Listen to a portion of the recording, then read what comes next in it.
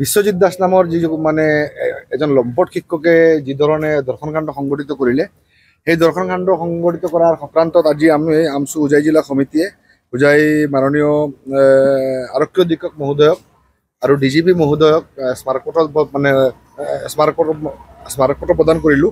আৰু স্মাৰকপত্ৰ প্ৰদান কৰি অতি সোনকালে এই দ্ৰুতগতিত ইনভেষ্টিগেশ্যন কৰিব লাগে অভিযুক্তক জেলত পঠাব লাগে আৰু কাষ্টডিয়েল ট্ৰায়েলৰ সোনকালে চাৰ্জশ্বিট মানে দাখিল কৰি কাষ্টডিয়েল মানে মানে ট্ৰায়েলৰ ব্যৱস্থা কৰিব লাগে। এইখিনি আমাৰ মূল দাবী আছিল। লগতে অন্যান্য প্ৰায় এঘাৰটা দাবী সন্মিলিত আমি স্মাৰকপত্ৰ প্ৰদান কৰিছোঁ। দেখা গৈছে যে অসমত এই ঢিঙৰ পিছত হোজাইত আপোনাৰ মংগলদৈত তিনিচুকীয়াত তেজপুৰত এক অনুৰূপ ঘটনা মানে মানে সংঘটিত হৈ আছে। আৰু ইতিমধ্যে ইতিমধ্যে আপোনালোকে গম পায় যে ঢিঙৰটোৰ কিবা এটা হৈছে। এই যুৱকজন পানীত পৰি মৰিছে শোণিতপুৰতো এজনক এনকাউণ্টাৰ কৰা হৈছে পলাব যাওঁতে তো আমি আশা কৰিছিলোঁ যে আমাৰ এইজনো তেনেকুৱা কিবা এটা হ'ব বুলি, কিন্তু হোৱা নাই, দুৰ্ভাগ্য। কিন্তু যিহেতুকে দেখা গৈছে যে অভিযুক্তসকল বিভিন্ন জাতি ধৰ্মৰ পৰা বিলং কৰে। গতিকে অপৰাধীৰ জাতি, ধৰ্ম নাই সেই হিচাপত মানে মানে লক্ষ্য ৰাখি অসম আৰক্ষীয়ে, অসম চৰকাৰে এই ক্ষেত্ৰত কঠোৰ পদক্ষেপ গ্ৰহণ কৰিব লাগে। আন এটা গুৰুত্বপূৰ্ণ ঘটনাটো হ'ল যে ইমান নাৰকীয় ঘটনা এটা সংঘটিত হ'ল যোৱাকালিৰ পৰা সমগ্ৰ অসম তোলপাল লাগি আছে।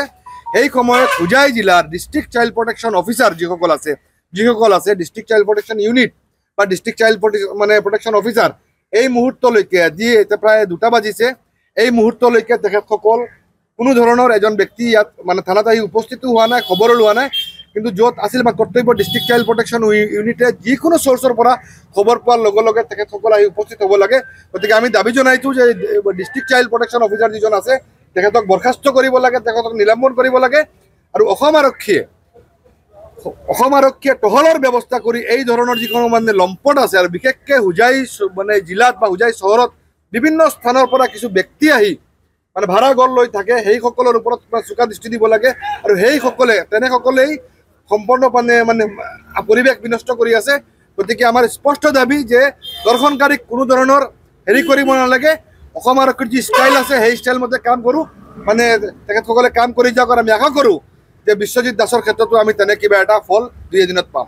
ইয়াৰ এইটো যিটো ঘটনা ঘটিলে এইটো এটা ষড়যন্ত্ৰ আৰু ইয়াৰ ওপৰত আমি গৰিহণা দিছোঁ। আৰু প্ৰত্যেক সভ্য সমাজে ইয়াৰ ওপৰত গৰিহণা দিব লাগে। আৰু যিহেতু অসম চৰকাৰৰ পুলিচ বিষয়াই বা পুলিচ কৰ্মীসকলে তৎক্ষণাত একশ্যনটো লৈছে। সেইকাৰণে আমি ধন্যবাদ জনাইছোঁ হোজাই ডিষ্ট্ৰিক্ট পুলিচ প্ৰশাসনক আৰু ডি চি মহাশয়ক। তথাপিও এতিয়া মানে ল এণ্ড অৰ্ডাৰে এৰেষ্ট কৰিছে। এতিয়া lawfully according to land law of the land এইটো জাষ্টিফিকেশ্যন হ'ব। সেইকাৰণে আমি ভাবোঁ যে ফাৰ্ষ্ট ট্ৰেকত এইটো জাজমেণ্টটো হওক আৰু জাষ্টিচটো ভিক্টিমক দিয়া যাওক জাষ্টিচ হ'ব লাগে। আমি প্ৰত্যেকটো সভ্য সমাজক অনুৰোধ কৰোঁ যে হোজাইত এই এই ঘটনা ঘটি আছে। আজি বিছ বছৰ আগৰ পৰা এনেকুৱা ঘটিছে মই আমি বহুত এক্সাম্পল উদাহৰণ আছে। সেইটো আকৌ এনেকুৱা যে নহয়। সেইকাৰণে সচেতন মহলে এনেকুৱা এজন ব্যক্তি যদি সমাজত থাকে বহিষ্কৃত কৰিব লাগে। আৰু আমি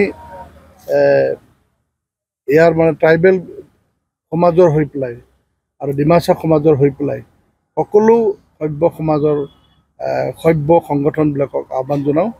এই যেন এনেকুৱা ঘটনাবিলাকক মানে কোনো মানে এটা উৎসাহ যোগাব নালাগে গৰিহণা দিব লাগে এইটোৱে আমাৰ যিকোনো খবৰৰ বাবে যোগাযোগ কৰক seven zero' double nine zero' one seven double three zero' অথবা seven zero' double nine zero' one seven double nine zero' নম্বৰত